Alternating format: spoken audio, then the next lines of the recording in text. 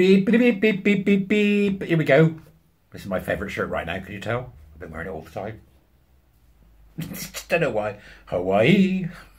That's why, I suppose. 'cause, you know, makes me think of the warmth as we enter autumn and then winter. Welcome to the court of the EDI Jester. I hope you're well. Straight into it today. National Post, Canada. Um, an article here from Barbara Kay, which I think is an important one because it's talking about the movement to oppose gender activism on the back of the 1 million march, which I believe there's been a resurgence of. And I was speaking to a Canadian warrior teacher the other day who said to me, This has absolutely galvanised people in Canada. So, you know, that's something we can celebrate. So that put a little smile on your fat face this morning. Canada is galvanised. Rather like a bucket. No, Canada is galvanised, right? So that it's genuinely, it's galvanising people in Canada. So the, the word's getting out there. No surprise that Canada is the one that's gone the furthest down the road towards totalitarianism under the rule of that um, uh, Justin Trunchbull, or whatever his name is, right? So the movement to oppose gender activism in schools is growing, and science is on its side. Isn't it lovely to hear that? The escalating fixation on gender in schools has produced a nationwide swell of protest.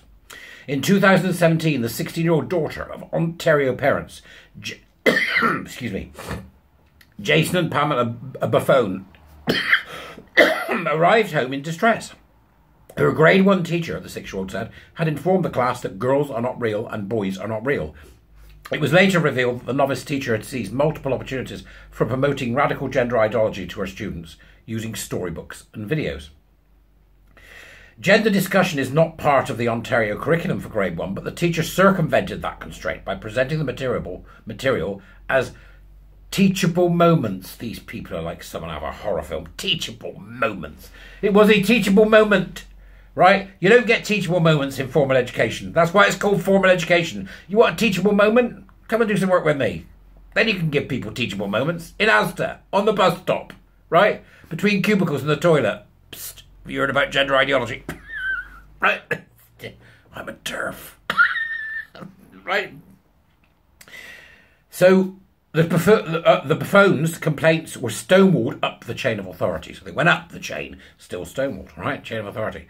They eventually filed an application before the Human Rights Tribunal of Ontario on their daughter's behalf, alleging discrimination with respect to educational services because of sex and gender identity, contrary to the Human Rights Code.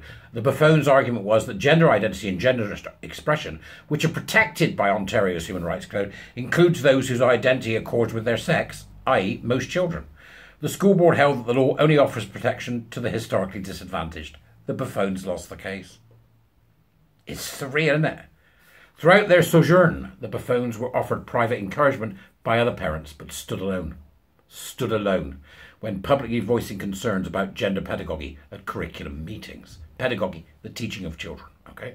Pamela Buffone was galvanised to action by her isolating experience, immersing herself in search of radical gender ideology, its theories, its entrenchment in pedagogy, and now finally, controversial affirmation model of transition that emerged from it. She reached out to dissidents in teaching and healthcare who had been forced to practice rapid affirmation against their consciences and better judgments.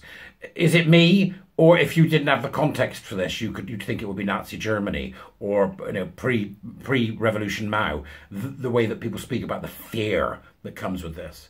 With these allies, Pamela Buffone founded the Canadian Gender Report.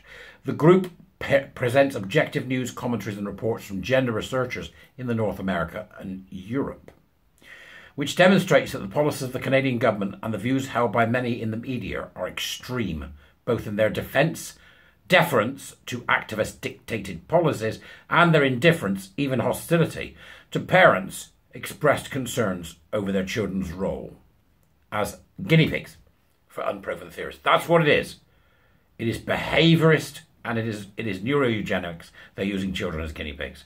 The patient and timidity the patience and timidity that was so common among parents in the early days of Buffone's travails is over. The escalating fixation on queer activism in schools has produced a nationwide swell of protest.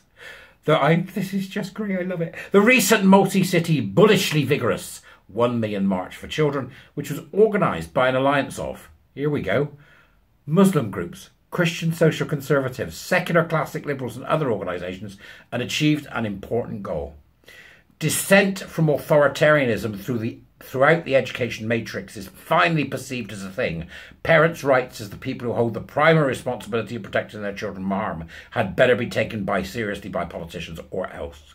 What a collaborative endeavour to bring together such strange bedfellows, a collaborative endeavour that is bringing about change in Canada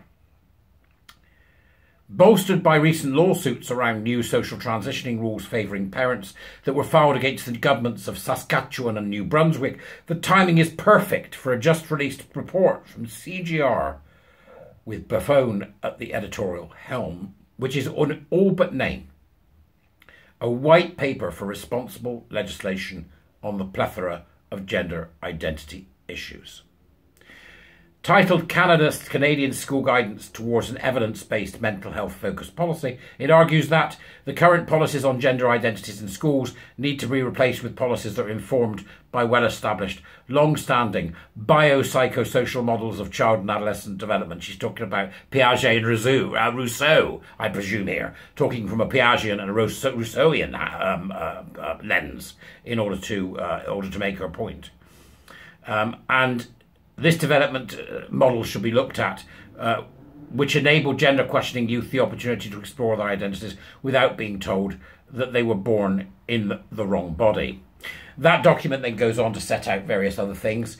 Uh, it's it's a great piece of work, and I suggest you go and have a look. I've got the article from the National Post in the Dubris. Do subscribe and buy me a coffee if you can. Help me out with a few bob. That keeps me going. Um, and I would also add that uh, this is a position I don't hold. Just just so you know. Okay, it's a position I don't hold. This is a is to a certain degree conciliatory. I don't hold a conciliatory position. Um, I think this needs to be eradicated by law and done so with extreme prejudice. And I don't mean assassination before we get some nut job mean say that extreme prejudice i mean in this case being that you have to go in and actively seek out this ideology actively seek out the ideologies that come with it and actively get rid of anybody that has practiced this in the classroom or taught it as fact, which so many teachers sadly have done. Uh, so I'm really pleased for Canada. It just looks like you're going in the right direction. And I think what we see in Canada, we will see happen here. So, uh, you know, I'm like, yeah, don't I don't want what she's offering, right? Because I don't think it goes far enough to eradicate something that needs to be out of the public sphere altogether. On the other hand, my goodness, that's a move in Canada brought around by um, by the buffoon uh, couples, a buffoon couple, right, who are just have done an extraordinary job in a very very difficult circumstances in Canada. So I I do wish them all the well with this. I you know there's going to be another march. Let's see how big it is this time, and let's see whether or not it takes off in the UK. I've seen mumblings. I don't know whether you have. Let me know in the Dubris, right? Keep going because they don't like it Upham. And boy, oh boy, it looks to me like sometime in the near future, a lot of them are going to get it Upham. And for that, I want a first row seat. I'll see you later, folks.